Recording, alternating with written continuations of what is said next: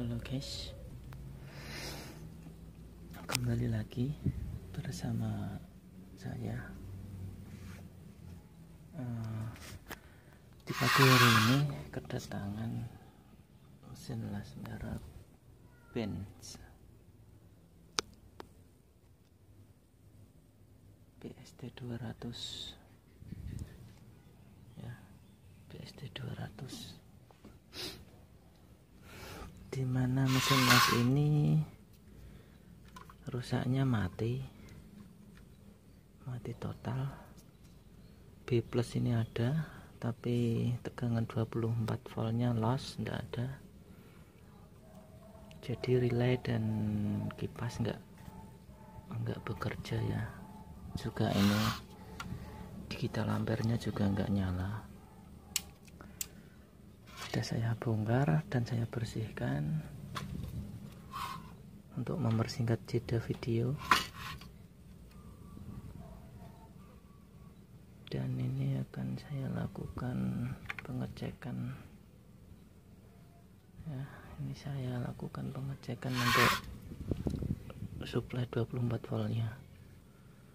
Oke kita lepas dulu kita pisah dulu dari botnya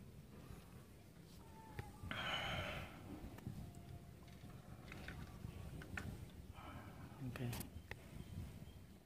Untuk spesifikasinya pakai 6 dioda 40 N30 dan pakai 4 IGBT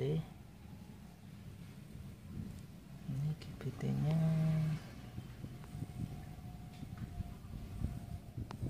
nggak kelihatan ya. 50 T65 50 ampere 650 volt. Ya pakai single trafo. Dan ini bisa tik bisa MMA ya, juga dilengkapi delay. Ini delay gas delay gas ini fungsinya untuk membuka katup solenoid secara cepat dan secara lama jadi kalau delaynya kita naikkan dia uh, kembalinya nutup lama. Kalau kita kecilkan kembalinya nutup kecil apa singkat. Ya, kurang lebih seperti itu. Oke kita pisahkan dulu nih pot atas dari tempatnya. Oke ini udah saya bongkar. Seperti ini jadi ini adalah ini adalah blok PSU ini adalah blok PSU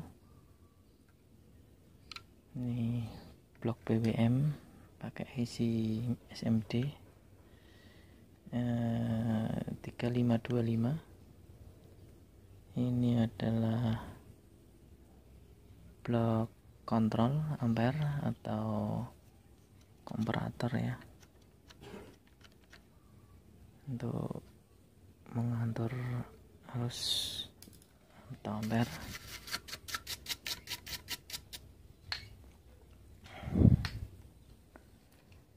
dan ini adalah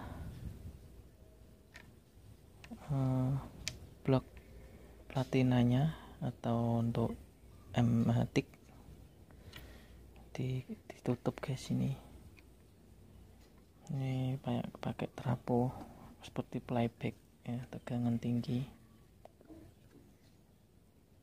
Di mana ini pakai topologi? Pakai topologi full bridge ya. Pakai topologi full bridge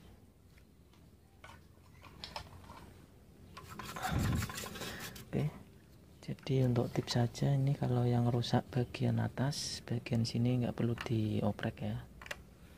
Bagian bawah ini nggak perlu dioprek karena ini tegangannya nggak keluar yang 24 volt. Jadi nggak perlu dioprek.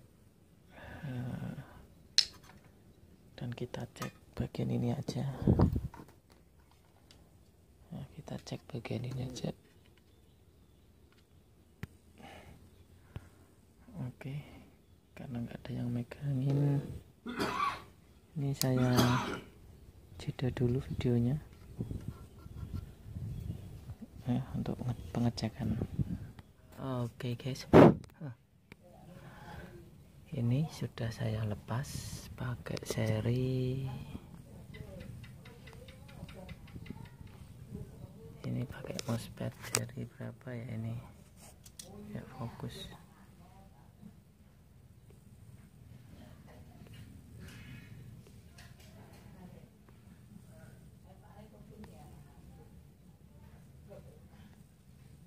nah 5N 100 ya. MS 5N 100 ini nggak rusak guys. Mousepadnya nggak rusak. IC nya pun nggak rusak kayaknya. Ya karena tegangan ada ya.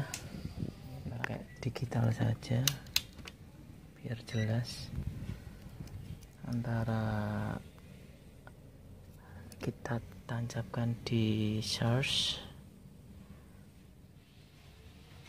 dan ini adalah drain. Ini drain to source. Ada 294 volt.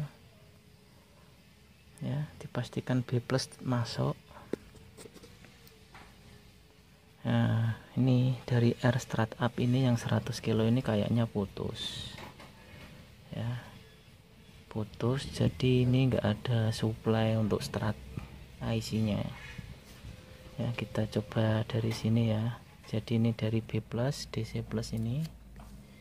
Ini dari B plus terukur 294 masuk ke resistor strat ini ya. Dari sini diturunkan menjadi sama masih belum turun. Dari sini sama 294 dari sini cuma 11 volt. Ya, 11 volt 11,5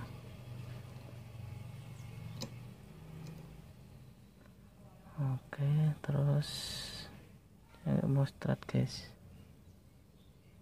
Ya mau start ini 0 volt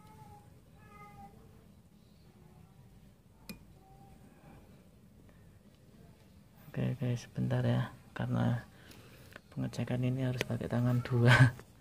Jadi nggak bisa. Jadi kalau memang nanti ini IC nya rusak ya ini saya ganti dulu. Kalau memang masih belum setrat isinya rusak nanti kita akan ganti pakai gacun 5 kabel ya biar stabil. Karena di sini menggunakan optocoupler untuk sensor outputnya 24 volt jadi lebih baik nanti pakai gacun yang 5 kabel. Oke ini karena harus pakai tangan dua. Satu megang satu ngukur jadi enggak enggak nggak kepenak gitu. Sulit ya. Sesuai dugaan saya guys ternyata hanya sepele rusaknya. Jadi ini adalah air strat ya di mana air strat ini adalah nilainya 100k untuk supply IC BWM ini putus guys ternyata. Walaupun ini kelihatannya masih bagus dan ini sudah saya ganti baru 100k nilainya. Dan ternyata nggak usah ribet. Ukur sana ukur sini ternyata udah bunyi. Nah, 24 voltnya sudah masuk. Oke kita ukur ya.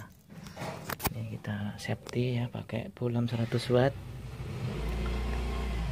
ya pakai bolam 100 watt ini fungsinya apabila masih ada kerusakan yang lain dia akan nyala. Jadi ini kita tancapkan. Ini relaynya langsung bunyi guys. Nah tak gitu ya bunyi ya. Nah, jadi sesuai dugaan saya ini memang putus karena nggak keluar tegangannya. Jadi nggak perlu digacun 5 kabel ini masih pakai orisinilnya kita cek 24 voltnya. Oke 24 volt letaknya. Nah di sini. Ini tuh. Prope kere huri. Ini di sini letaknya guys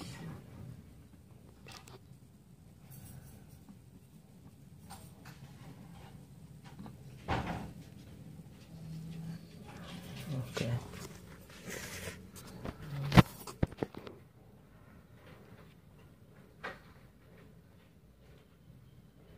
Hmm, sini letaknya. Ya, terukur 24 volt. Atau supply kipas saja ini ya. Ini supply kipas. Terukur 24 volt angel ya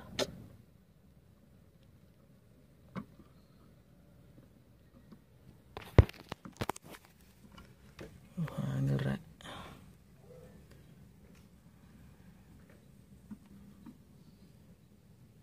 Nah, nih ya terukur 25 volt. Ya terukur 25 volt. Dan relenya bunyi. Ya. Jadi setelah saya koreksi ternyata yang rusak cuma uh, resistor ini saja ya guys nggak perlu dioprek yang lain situ pun nggak perlu karena memang nggak rusak. Oke saya pastikan ini sudah normal. Kita cabut dan relay harus off. Kita cabut ini sumbernya. Oke